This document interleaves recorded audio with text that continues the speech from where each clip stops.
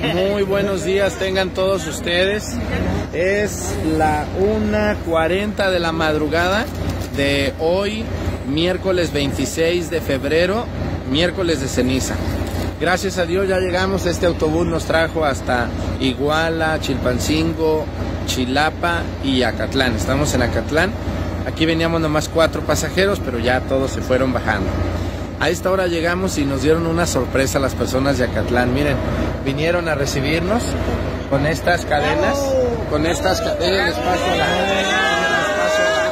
les voy a pasar la, la, las personas que vinieron a, a recibirnos con confeti, con pétalos de flores, con coronas de cempasúchil.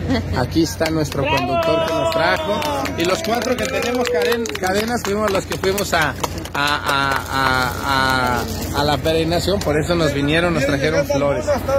Así que les agradecemos mucho el esfuerzo, imagínense, se siente muy bien que venga alguien y te dé la bienvenida y te diga, padre, bienvenido otra vez a, a nuestro pueblo y con mucho gusto y nuevas fuerzas vengo, cansado, pero al rato me echo un bañito y ya estoy como nuevo.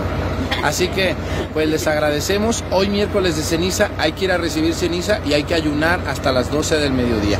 De preferencia que les ponga la ceniza el sacerdote o alguna persona que esté preparada para poner la ceniza. Puede ser un laico, pero que sea una persona preparada.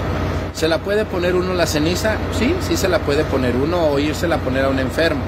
Pero de preferencia que alguien te la ponga, aunque sea tu prima, tu mamá, no ponérsela uno mismo. De preferencia que alguien te ponga la ceniza. Si es el sacerdote, muy bueno. Si no puede, porque es demasiada gente, tú entiéndelo, que te la puede poner otra persona. Pronto voy a hacer un tema más específico sobre esto. Nos vemos ya estoy de nuevo con todas las ganas para ir, si Dios quiere, a ratito a La Monera, a Pochahuisco, a Alviramontes, a Topiltepec y a Totola y a Catlán. Ya saben los horarios, si no al ratito los subo aquí a Facebook para que recordárselos. Buen día, excelente inicio de la cuaresma. Hoy no se come carne roja de ningún tipo.